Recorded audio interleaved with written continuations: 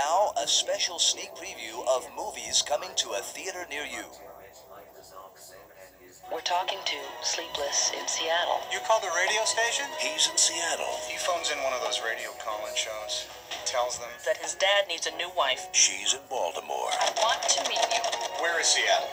Right. Where's Baltimore? This is this crazy? Ah, it's right there. What if this man is my destiny and I never meet him? Tom Hanks, Meg Ryan, She could be a crazy, sick lunatic. Didn't you see Fatal Attraction? God, she's beautiful. Sleepless in Seattle. This film is not yet rated. That's not funny. That's sick.